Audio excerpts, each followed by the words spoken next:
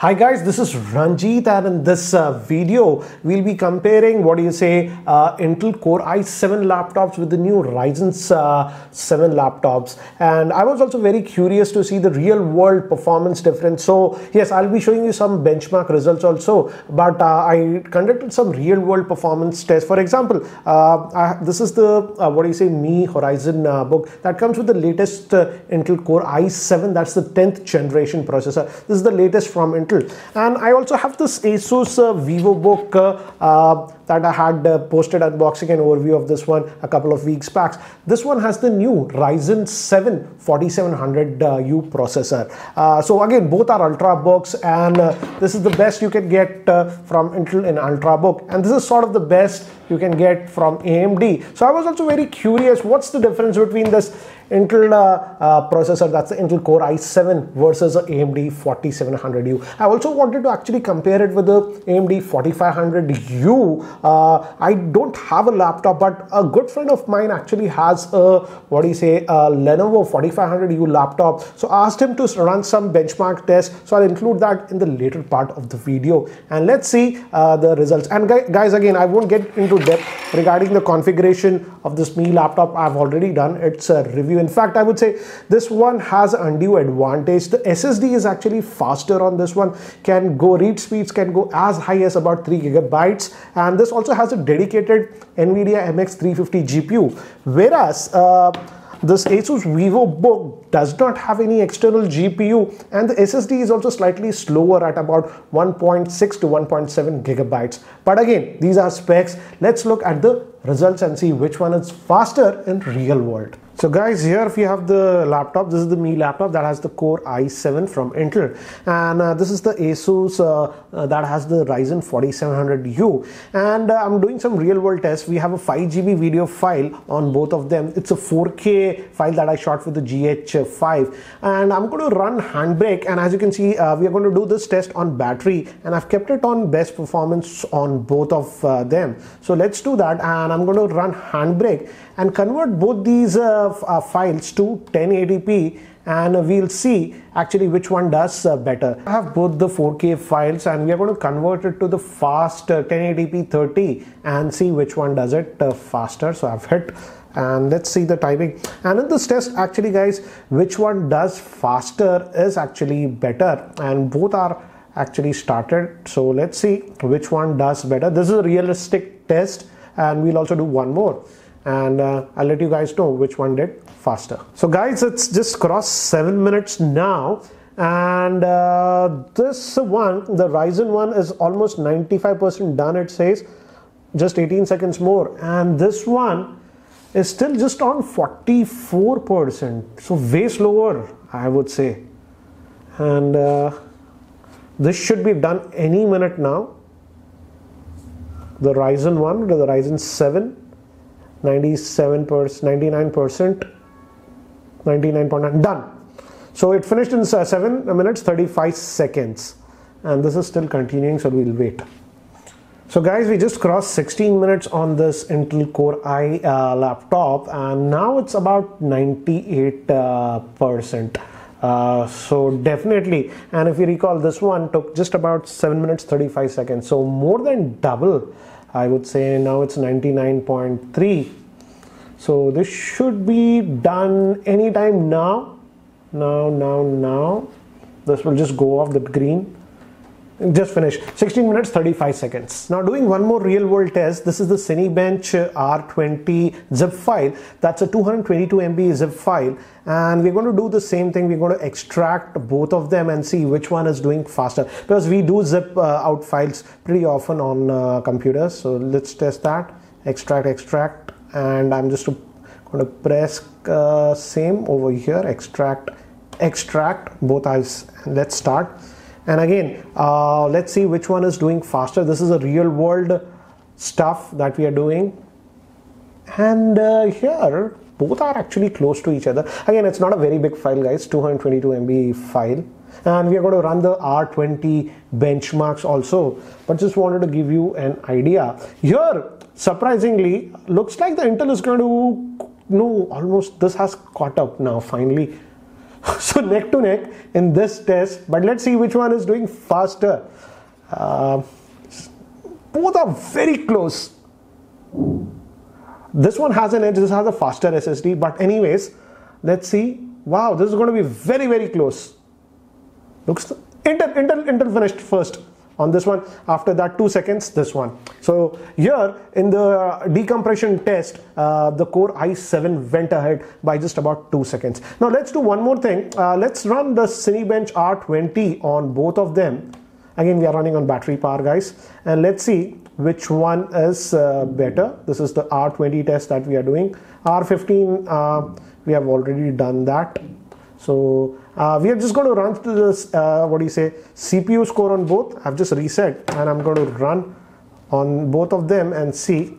Again I've clicked that. So let's click start and uh, hopefully it should start.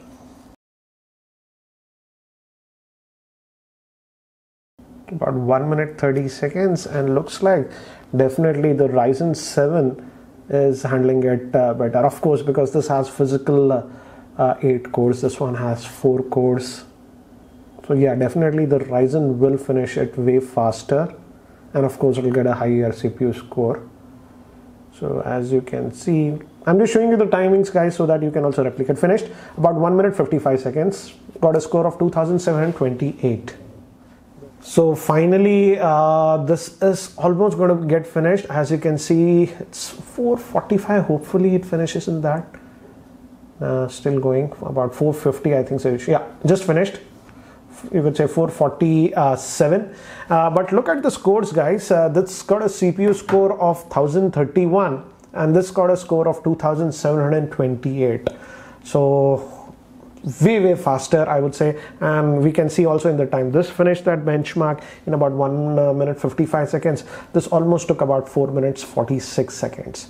So as you can see in the ROS cpu definitely the new ryzen uh, what do you say 4700u is way faster Guys, one more practical test and this is uh, DaVinci Resolve video editing software. I've installed on both the machines. This is the Core i7 and this is the Ryzen 7 and uh, this is the same 4K video clip that uh, we had. So uh, um, uh, the 4K in the timeline. And I've just added this text layer throughout the video Core i7 on this one and Ryzen 7 and now we'll render this and see which one is doing a better job in uh, video exporting. And I'm just going to hit what do you say? Start render on both of these. Start start. And they have started. So I'm going to hit this also and this will be an interesting test. Uh, technically uh, the Mi laptop with the Core i7 has the dedicated uh, NVIDIA MX350 GPU uh, whereas the Ryzen 7 does not have any external or dedicated GPU it's just using the internal Vega graphics.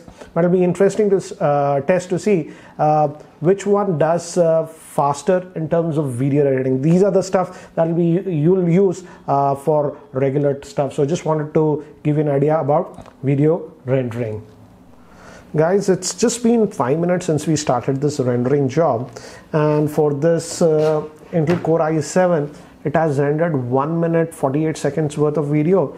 Uh, but here as you can see uh, this has rendered already 2 minutes 57 seconds worth of video. And here it says it has completed 43% of the rendering here 25 so again significant uh, lead to the Ryzen 7 as of now. Let's see how much time does it take to complete so guys, it's been 12 minutes 20 seconds and here this has completed the Ryzen 1 98% and this is still at 54%. This still says 10 more minutes and this is going to be almost done now. 2 seconds. So this is done. So this finished uh, in 12 minutes 37 seconds. This has completed the job as you can see it's finished.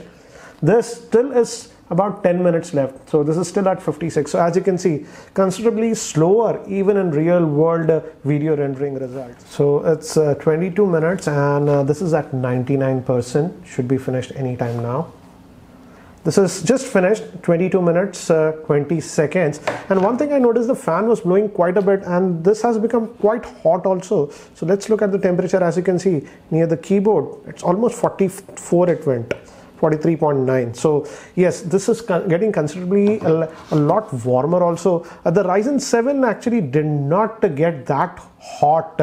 Uh, and uh, again that is uh, due to also when now the I, I, think so the battery life is falling on this one that's why it's going to the battery saver mode. But let's look at the battery level on uh, this one now.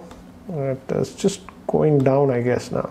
It's just at 19% battery whereas this one is still at about 58% uh, so again yeah in terms of battery life also I feel uh, because uh, this was struggling quite a bit. This is consuming a lot more. In real life, I would say the Ryzen 7 should give you anywhere about one and a half to two hours of extra battery life compared to this one. So we got some very interesting results. Uh, in fact, in all the tests, in fact, the Ryzen 7 uh, beat out this uh, Intel uh, laptop. And I was surprised also in terms of battery life, the Ryzen 7 actually performed uh, better. And as I've told you, I asked one of my friends who has the Ryzen 5 4500U to also run some of the tests. So I have the score. So as you can see from this screenshot, lower the value, it is better. That means we are able to complete the task faster of uh, what do you say, that 4K video to 1080 in just 7 minutes to 15 seconds. And uh, the Intel one took uh, actually 16 minutes 35 seconds. So more than 100% uh, longer which was very surprising. But the big surprise to me personally was the Ryzen 5 it's a 6 core processor that completed the task in 8 minutes 29 seconds. So even the Ryzen 5 uh, in that Handbrake test is faster than the Intel Core i7 laptop. Uh, video editing for the Ryzen 7 in 12 minutes 33 uh, 36 seconds whereas Intel took almost 22 minutes.